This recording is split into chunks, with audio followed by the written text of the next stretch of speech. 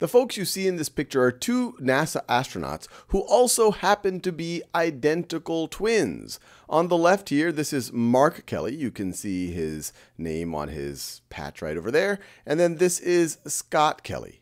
And the reason why we want to look at these two astronauts in particular is to think about genotype and phenotype that we have been introduced to in other videos.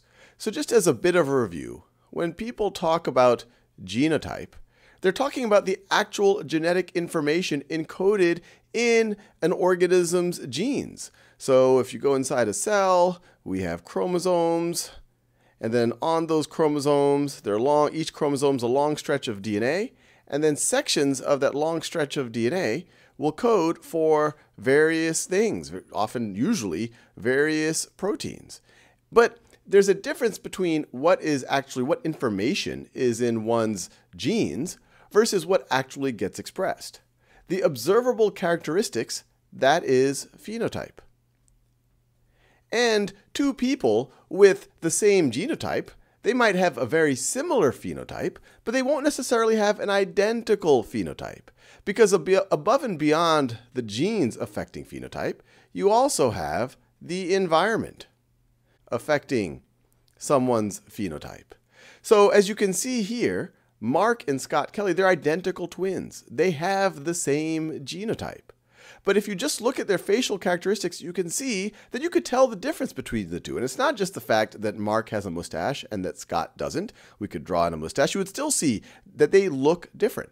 And that's because their bodies developed in different ways based on the environment that they happen to be in.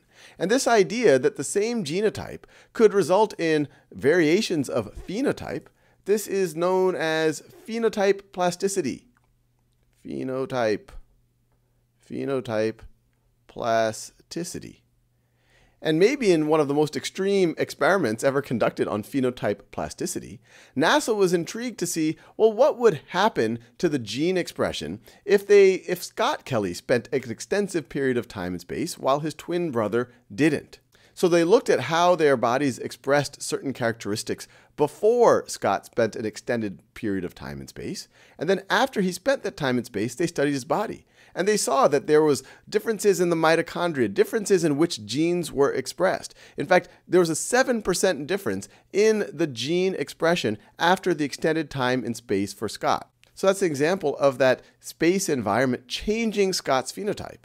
And the NASA scientists theorized that it was a low oxygen environment. There was a lot of carbon dioxide in that environment. There were stressors from space travel that would have affected how the genotype, which is identical to his brother Mark's genotype, how it might have been expressed, resulting in the phenotype plasticity above and beyond what other changes in phenotype between Scott and Mark accumulated over the course of their lives despite having the same genetic information.